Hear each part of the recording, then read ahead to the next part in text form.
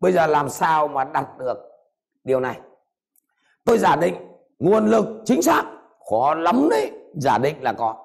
Đặt mục tiêu đúng đắn khó lắm đấy, thế là loại được hai nguyên nhân thất bại rồi.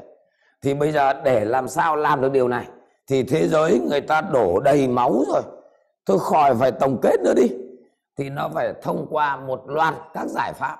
Ai giải pháp cho cả ba chủ thể này. Một, đó là chiến lược. Một chùm các chiến lược. Và nếu các bạn không vẽ được đường đi mà chặt cái gì chứ chặt chiến lược thì thua. Cho nên đây là giải pháp có tính quyết định. Ở trong đời thường các cụ hay nói anh sai đường thì em không chịu nổi là thế. Và một loạt doanh nghiệp, tôi không tiện nêu tên ở đây chặt đường là chết hết đang thượng phong thế này, đi chặt cái là cắm đầu xuống liền. Giải pháp thứ hai, đó là tổ chức tổ chức cuộc sống của các bạn, tổ chức thời gian của các bạn trong doanh nghiệp, bố trí sao cho tận dụng tối đa được nguồn lực. Và đây chính là vấn đề thể chế nếu xét ở góc độ nhà nước. Như vậy, đây là cái thứ hai, thì một nguồn lực bé nhất có thể đạt mục tiêu tối đa so với nguồn lực tốt nhất có thể. Mà ai cũng phải làm. Nhiều bạn bảo, em chả cần. Em lên núi em ở, quên đi. Núi bây giờ cũng có chủ rồi, nguồn lực hết rồi ở trong tổ chức thì nó có con người. Ở trong gia đình, ở trong quốc gia và ở trong doanh nghiệp thì nó lệ thuộc vào cái thứ ba, điều khiển cho người ta làm. Chiến lược cực tốt, tổ chức thật chặt nhưng trong cái đội ngũ này mà người ta không làm, thì à, chiến lược tổ chức bỏ. Vậy thì đó là chính là hoạt động lãnh đạo.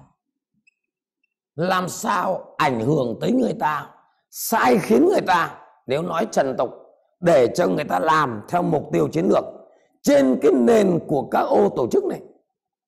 Đấy là giải pháp số 3 nếu nói đời thường, đây là thủ đoạn số 3 để đạt mục tiêu này. Và khi người ta làm rồi, nếu chúng ta buông ra, thì lúc này liên quan đến phạm trù con người, thì lập tức nó có hiện tượng lại gạo, nó bật về vị trí cũ ngay. Cho nên là quản trị mà không kiểm tra, thì đừng quản trị nữa. Thì đây là giải pháp thứ tư, đó là giải pháp kiểm tra. Người ta còn gọi đây là hoạt động tuân thủ. Buông kiểm tra, nó lại bật lại từ đầu đây là bốn giải pháp nó sẽ biến cái này thành cái này.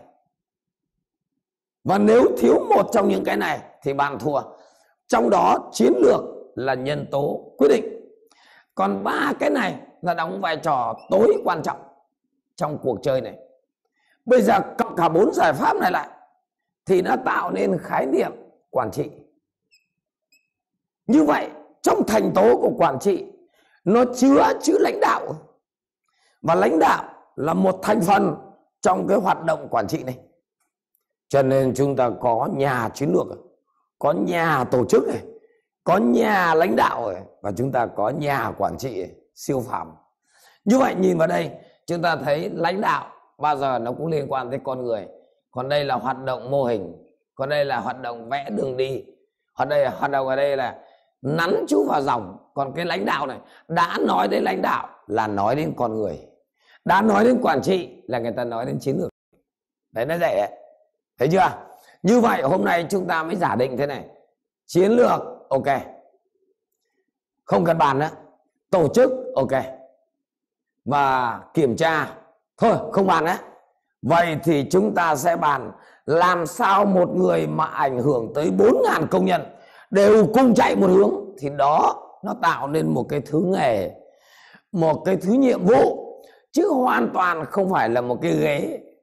Người ta lầm to cho đó, cho nên là tôi đặt cái nền là cái này cố định, cái này cố định, cái này cố định.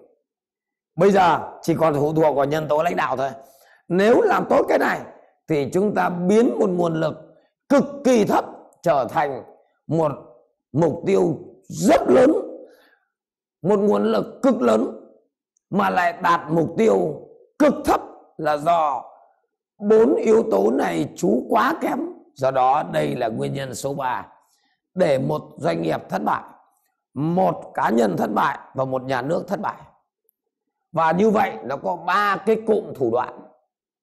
Một cái cụm thứ nhất, hiểu mình hiểu mình, đó là định vị mình. Và một cái thứ hai là đọc vị được xã hội, đọc vị được người khác và thứ ba là các kỹ năng để có thể thực hiện được, đạt được cái điều mình muốn này với một mức tối đa có thể. Được chưa? Và như vậy trong đời thường chúng ta thấy có những quốc gia nguồn lực yếu lắm mà đứng thứ nhì, thứ nhất thế giới do cái hoạt động giải pháp của họ quá tốt. Có những doanh nghiệp mà nguồn lực không cao mà giữ vững và trở thành trường tồn tôi chỉ có điều tôi không được nói tên, mặc định là đi mặc marketing cho người ta. Và có rất nhiều bạn gái, nguồn lực kém lắm. Ít nhất là đứng về cái người ta hay quan niệm, bạn ấy xấu lắm. Ồ, lấy người chồng tuyệt vời tuyệt vời. Còn có những bạn thì đẹp lắm, nguồn lực tuyệt vời.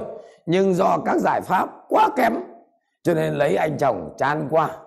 Và thế là các cụ mới nói cái câu là bông hoa nhài, cắm bãi cứt trâu là thế. Là do trình độ quản trị quá kém. Đúng chưa? Trong đó có trình độ lãnh đạo, tức là năng lực ảnh hưởng đến người khác. Đúng chưa nào?